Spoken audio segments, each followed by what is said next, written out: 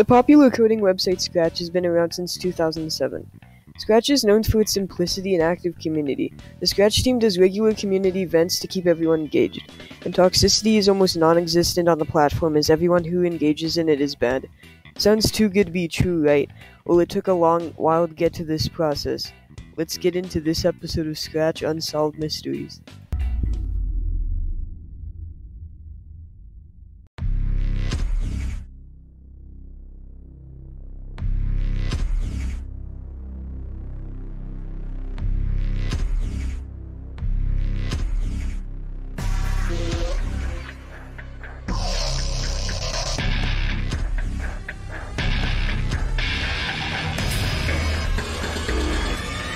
Just banned me for no reason.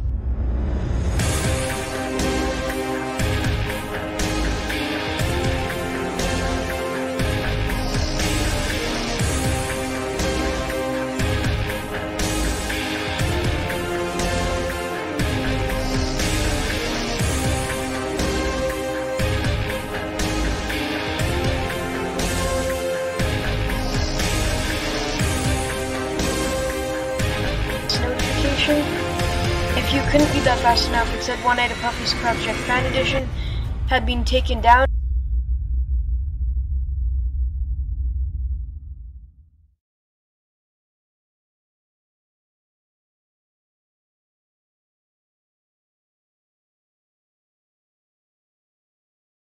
This is now the oldest known FNAF fan game, not only on Scratch, but in FNAF history in general.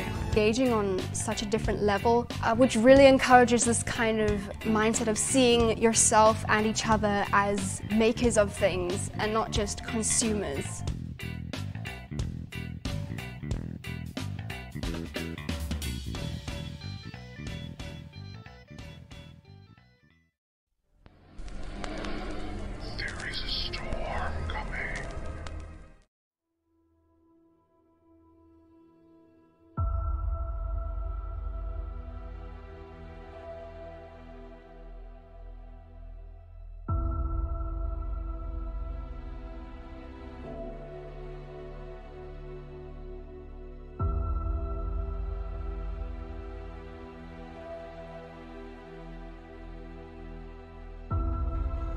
Well, it's pretty simple, but you're not going to like it. Leave Scratch. Yes, quitting Scratch is the most logical solution.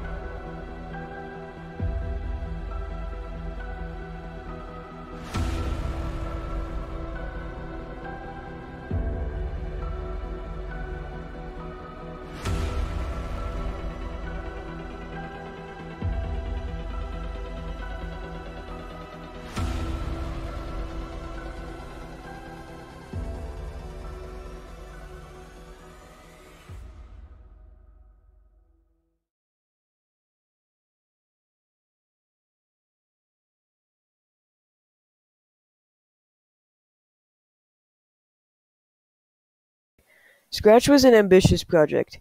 Making a very accessible encoding language with a vibrant community had never been done before. When Scratch was finally launched, it slowly began racking up users. Most games at this time were simple. As more and more users came to the platform, a common complaint was that they wanted a way to share the games publicly for the world to see. So the Scratch team at MIT got to work and planted the seeds for what was to come.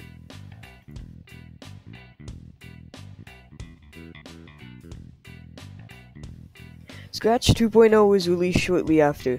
This version modernized Scratch. It completely changed the user interface and added many useful blocks for users to add to their projects. Most importantly, you can now share your projects with the rest of the Scratch community. You can like and favorite these games, comment, you can now even create profiles where you can post your games. This update was praised upon by the Scratch community and many new members joined, including myself. Games started becoming more advanced and overall better. Tutorials for new members were abundant and schools were even now implementing Scratch into their classes. Scratch was in its golden age and it could only go up from here.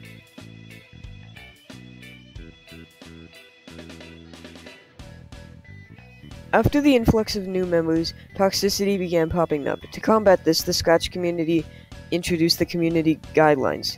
These guidelines were rules that all Scratch users and projects had to follow. They were fairly basic and nothing seemed like a ridiculous ask.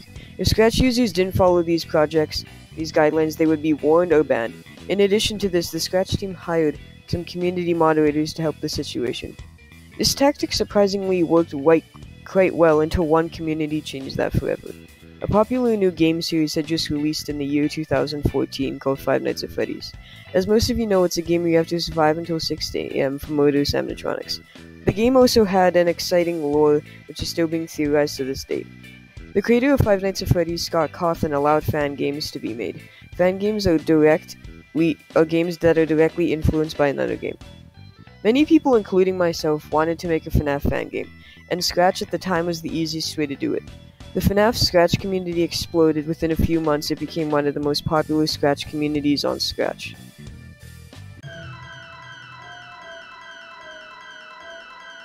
All good things don't last forever, though. Within just one day, 80% of FNAF-based projects would disappear. They didn't disappear because of copyright nor hack, it was because of the Scratch team themselves, implementing a moderation system that would effectively terminate all users and projects deemed scary or not fit for the community guidelines. So what happened?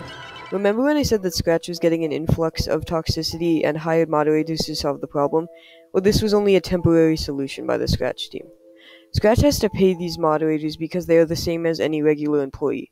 If you look at the bottom of the page on Scratch, it says that Scratch is funded by donators. This means they have a hard time paying people because they actually make little to no money. Behind the scenes, they were working on a fully automatic moderation system that would save them money. The new system was put in place and all the moderators were inevitably fired, and this is why on Scratch Wiki you will only see moderators labeled as former moderators. The Scratch team at the time was also receiving complaints about FNAF fan games on Scratch from parents and schools about their scary content. So the Scratch team decided as a test to test their new system on FNAF fan games. As they did, this resulted in a massive purge on FNAF content on the platform.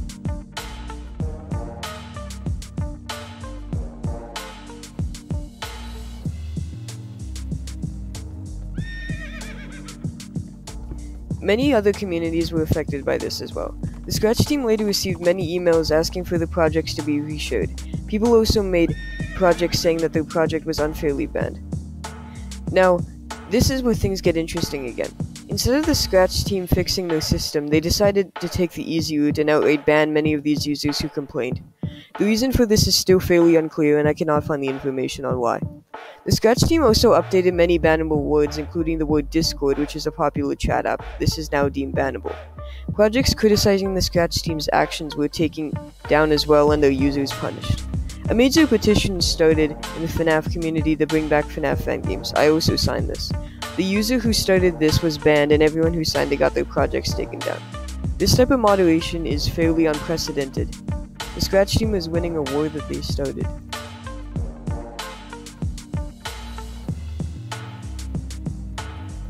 A new version of Scratch was on the horizon, though. This time it was Scratch 3.0. This brought hope and excitement in the community. When Scratch 3.0 was finally released, backlash was almost immediate. Many experienced Scratchers felt the blocks were childish and that nothing really changed. Scratch also made a moderation even stricter. If your project was reported, it would most likely be banned without any review from the Scratch team, which is what happened with my game One Night at Puffy's Crab Shack fan edition.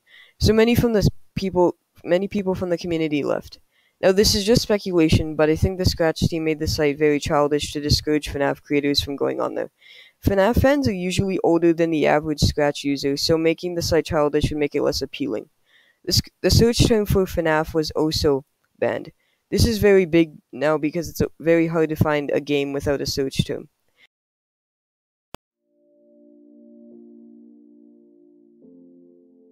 In the present day, the FNAF Scratch community still exists, but it's heavily suppressed. Many games do not reach old heights during the golden age.